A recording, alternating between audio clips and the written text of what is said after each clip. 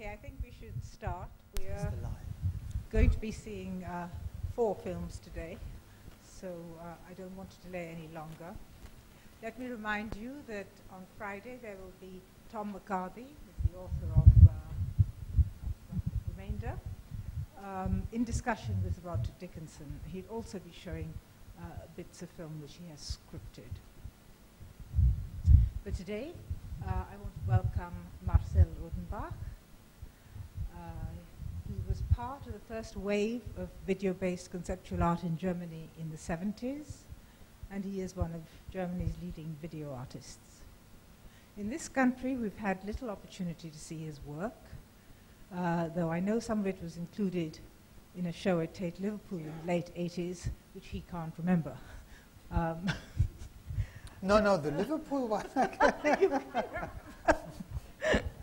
Today he will be showing, well, I thought two works in their entirety, but he's also added a three minute film and a 10 minute film to this. The two works uh, that uh, uh, I knew he was showing, uh, he wanted to show entire, in their entire form, uh, because his approach necessitates, um, necessitates this because of the way the work is conceived and structured in time. So the first of these is In Still Waters, Crocodiles Lurk. It's a work on the Rwandan genocide of 1994, which was completed in 2004. And his newest work, and the second of these films, is Turning Circles.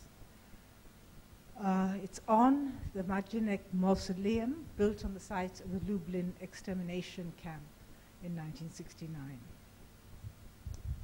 Marcel Odenbach uh, lives in Cologne and has worked in New York and Ghana. He speaks of the individual citizen's passivity and activity in terms of sight. To see something is to implicate oneself in its fate. To see is to experience the present in the framework of the past. There can be no state of neutrality toward history. Of course, you cannot represent history as such, but you can experience the, experience the present in the framework of the past. And this is what he does, and he makes us do. I, I have more, but I think I'll just leave it. Uh, I want to thank Marcel Odenbach for coming to speak and to show us his work. And I've been looking forward to this moment. So please welcome him.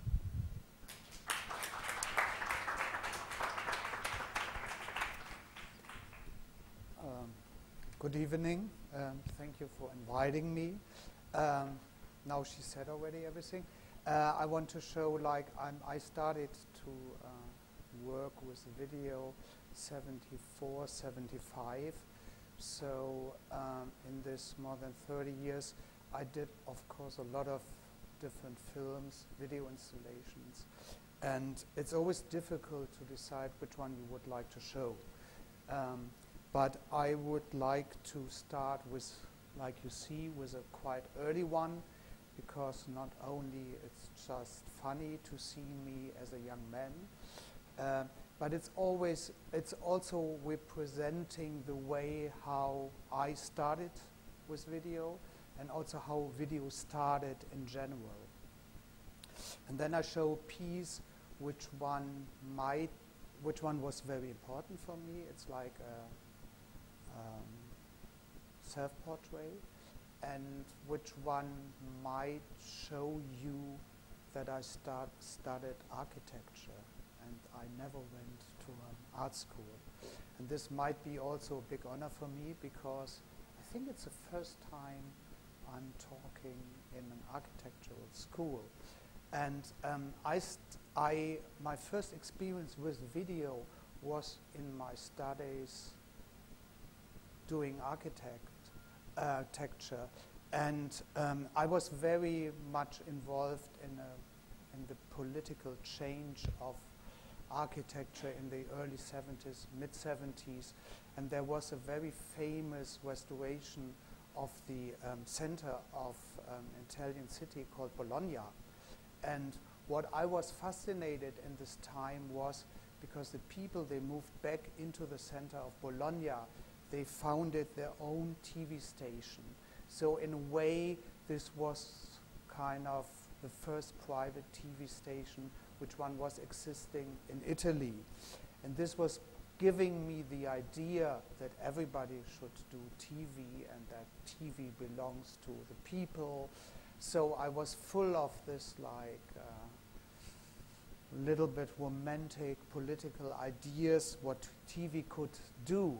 So I decided I'd do TV by myself. And um, I bought the first video camera and I went into the city and I tried to do certain kind of like interviews with people about the city, how they feel about the housing, how they feel about like changes in the city and so on. So this, so my first experience with video was very close or very much connected to my studies of architecture. And the other influence, of course, was uh, the video art, like the early guys like Bruce Nauman and Vito Acconci, because in between my studies, I went many times to United States and I made my money of living in New York over the summer of working in galleries. And the first galleries I worked in were like video galleries, which one, do which one doesn't exist anymore. But every big gallery in this time, like Ileana Sonnabend and people like this, they had a video gallery, and I was confronted with video. And I decided immediately this is what I want to do because that is much more modern than doing a painting. And this is much more interesting for me because it's combining image, it's combining sound, and it's combining movement. So the first videos um, were very simple, and the first videos were kind of like this famous closed circuit situation. I had a black and white camera, and I was my best actor because I was sitting in front of the camera, and there was no editing facility, and there was no facility of changing the image in this time. So the piece you will see is one of the last pieces I did in this very simple way. And all the pieces which one I will show today or which one I'm doing have also very kind of personal relationship. So this is a piece which one I did with a director together. His name is was Gábor Bódy, who was a, an Hungarian director who died in the early 90s. And I met him this day in this apartment in Paris. And the funny thing is, was I don't know if somebody knows her still, uh, Maria Schneider. She was doing this famous movie with uh, Marlon Brando in Paris. And this was the apartment of Maria Schneider. I was staying there by coincidence. I never had an affair with her. I never met her once and the guy too. So we decided we do something. And we did this piece, which one is called, which one is funny now too, because it's called The Dialogue Between East and West.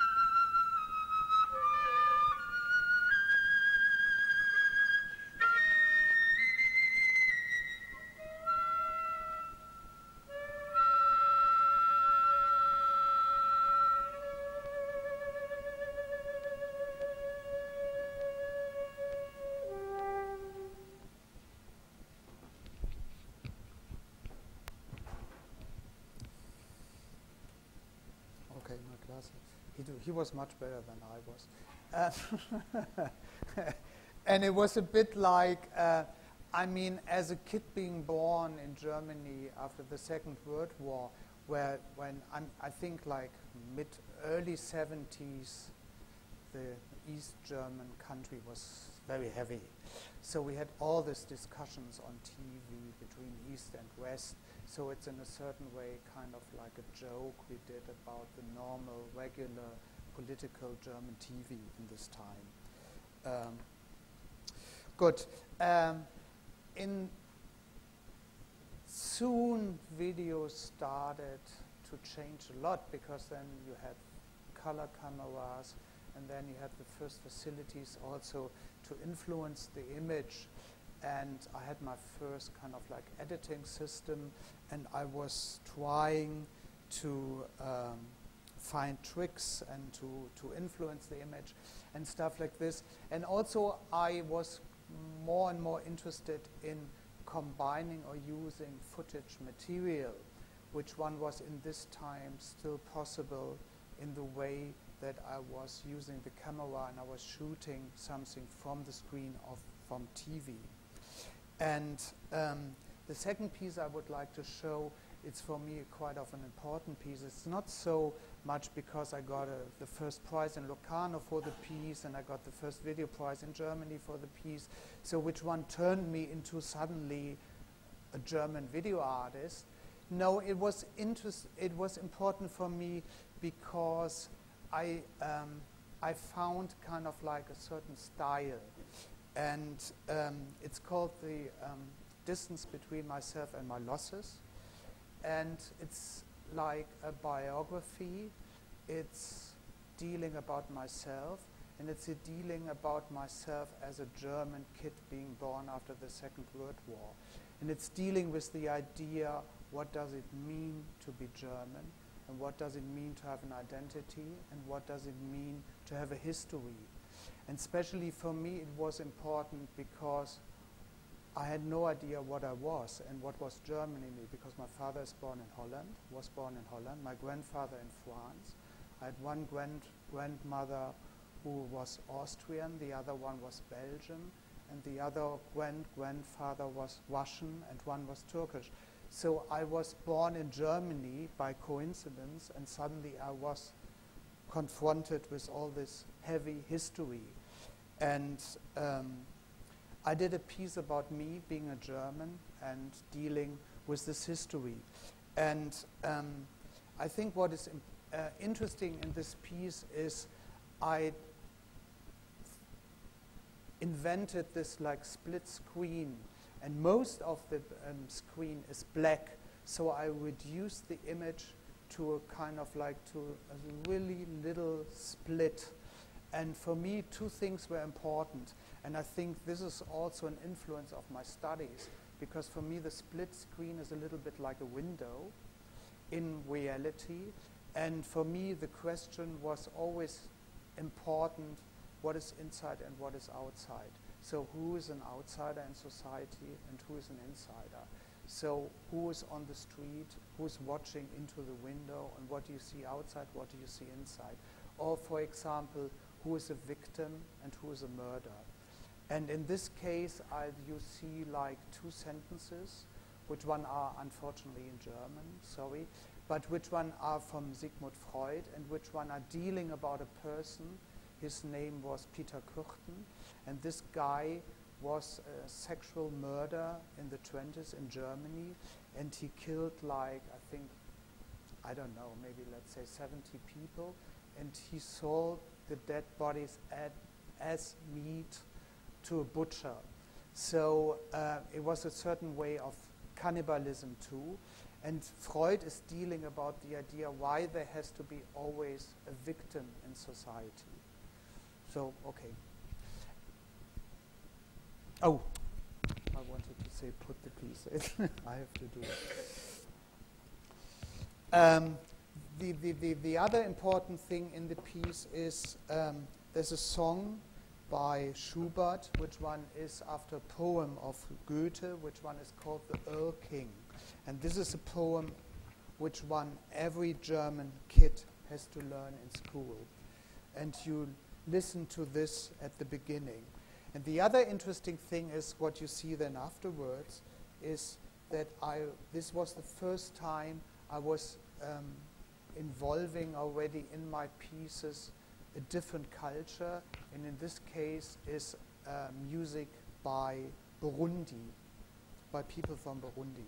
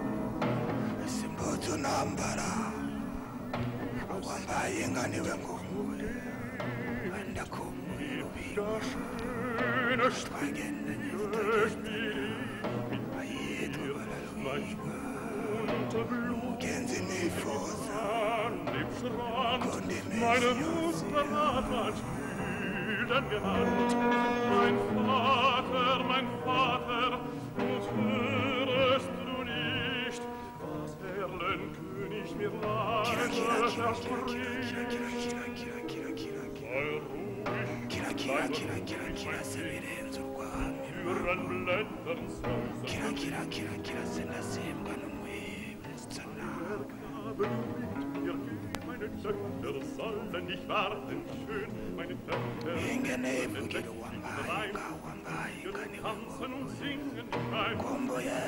tanzen und singen dich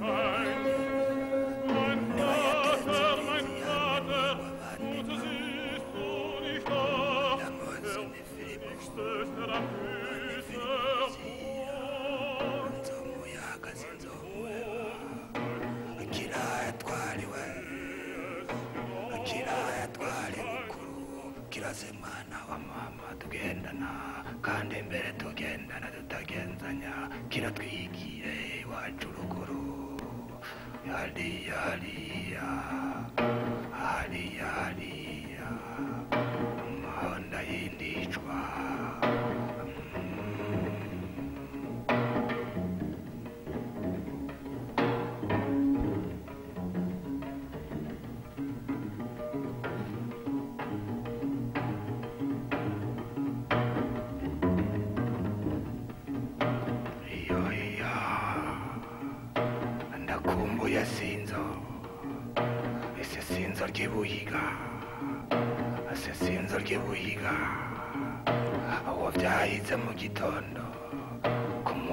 byahiguye ndamwemera rwose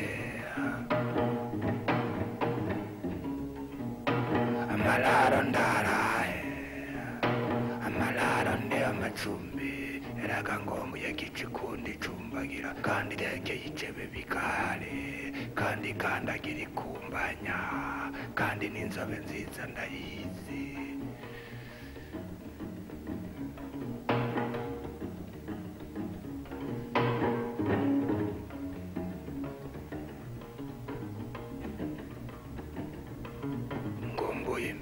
Ndende ngombuye ngomboye mbinga ndende ndakumbuye iyo navuye kandi niyo navutse ndakumbuye rubanza abagomba kumubaza ndababaye gitata aho nyene kinya kuguma ndamwemera imbakanyumva aho nyene ngo yambabye ayirabakaba kumubangwa ayiramba hambira ingege ayirakura nakizigenzaga arugombe rugende ayitwa sinzo sinzo.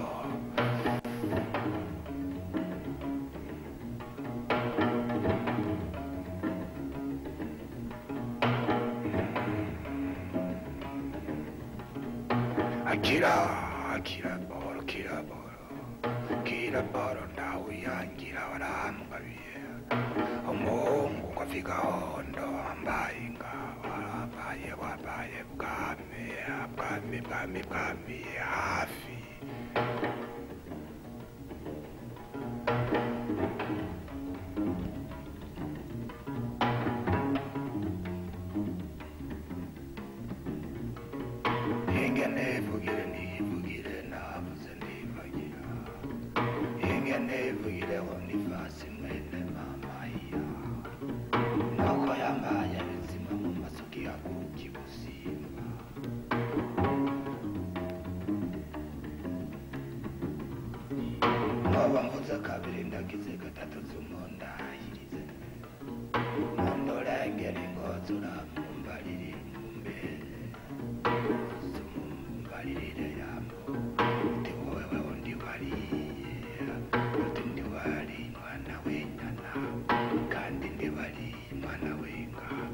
dévoilé.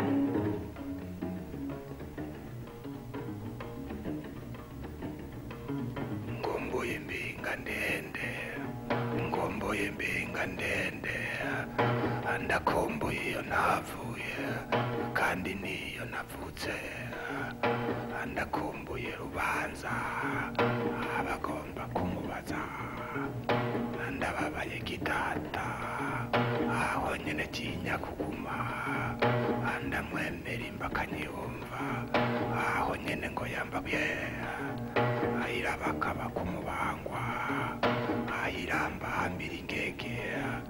Ayirakura nakizigenzaga arugombe rugende. Ayitwa sinzo sinzo.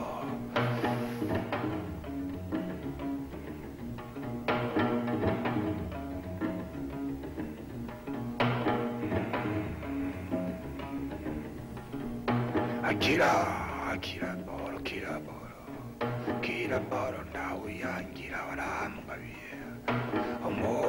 umuhungu ngo afika hondo ambaye ingawa wabaye wabaye bwami bwami bwami bwami hafi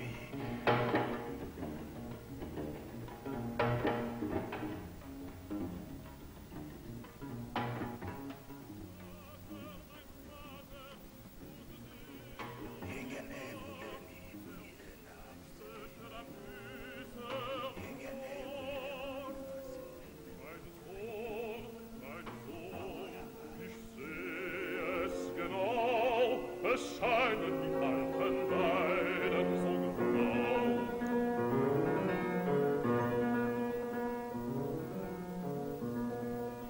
liebe dich, mich reizt deine schöne Gestalt, und bist du nicht willig, so brauch ich Gewalt.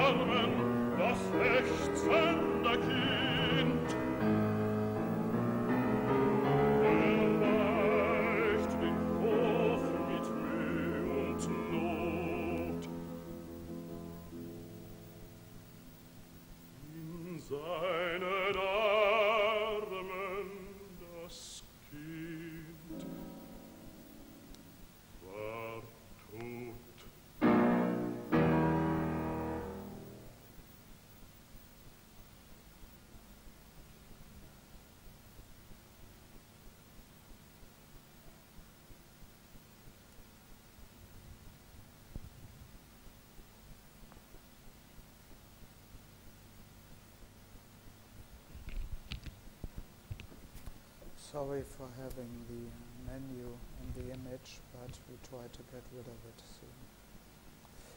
soon. I call sometimes the piece like my private peep show. So um, I think what was influencing me of doing the piece was this um, memory as a kid when you were looking through a key, keyhole into another room and then you just saw a bit of something or an action going on and the rest was building up in your fantasy.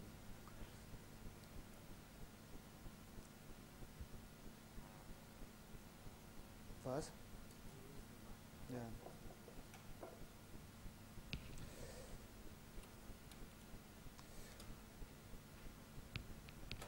Sorry for first like handling here this. So now we make a huge step and um, I will show now a piece which one I finished 2004. Um, now we, okay. Okay. no, is the thing going out? No. It's Sorry, first I would like to full screen and stop. Oh, it's gone. Perfect. Oh. Okay. Um, okay. Um, this is a piece I finished 2004, and it's also a special piece for um, of, of mine. When um, what you saw in the piece before already was like um, I started in the early 80s. What I said before of using footage material. So what was becoming important for me already was like collecting materials without any idea what to do out of the material. So it's, it's not the way that I have an idea and then I'm starting like a director to get a team together and then we go somewhere and then we shoot and then it's coming one step after the other. So what I'm doing is like I'm working like a collage. So I have many like footage like um, collections. And then I have some images which one I did already by myself with my own camera or then I have images which one I did with big with famous or non-famous but professional camera people and then I have sound ideas. And then in in the meanwhile so a piece is coming together and then I'm kind of like using all these materials in my house and then I'm making a piece out of it in the editing, so, uh, with the editing facilities. Um, in the new, in the 90s, I couldn't use anymore all the footage material which one I wanted to use because of rights and laws and problems with, with, with, with paying um, things and stuff like this. So I decided I redo them. So in the new piece, um, I have two films which one influenced me for a long time. And when I was thinking of doing something about Rwanda, I decided there will be two films which one will I will quote in the film, but of remaking them by myself. This is Persona by Ingmar Bergman, because there is this woman who saw this burning Buddhist on TV, and she got a traumata since then. And um, for me, this was interesting of going to Rwanda and dealing with people. They had 94 this incredible genocide where like in three months one million Tutsis or whatever Tutsis and Hutus got killed. of course, they were they are completely traumatized. And the other film was by Pasolini, the Matthew Passion, um, and I decided I'm using this as kind of like an impact for dealing with this incredible, beautiful landscape. Because if you go to Rwanda, which one was really like an incredible impact for me was that you go there and you have the idea you are like in, in, in, in a country of the Bible because it's so lush and so rich and so beautiful. And then it makes you double difficult to understand that in a beautiful, lush country like this, a genocide could happening. Um, and the whole idea of working about Rwanda was starting in 95 when I got a job at the United Nations. They asked me, um, they invited like out of every country, they invited one artist to do something about the 50th anniversary. And I decided I would like to do something about refugees because refugees always played in my family a big part and also played in the German history a big part. So I went to New York and I had the opportunity to work in the archive of the United Nations and to do something in 95 for their 50th anniversary. And in this time I was sitting there and working, I was con constantly, even before 95, I was constantly confronted with this material of Rwanda. And I couldn't understand that this happened again, a genocide like this, and I couldn't understand that nobody did something about it. So I decided I want to do something about Rwanda, and it took me like 10 years to do it because I had to travel there, of course, more than one time. I went there with a camera person. I was arrested in Rwanda. I, I got no, no license to shoot. So it was a very complicated project. And um, I did this double. I did an installation out of it. So it um, consists out of two big screens, and you see now a version where you see both screens together. Um, nothing is in German, so uh, the text is also in English, and the um, piece is 31 minutes long, and we maybe can discuss afterwards about it.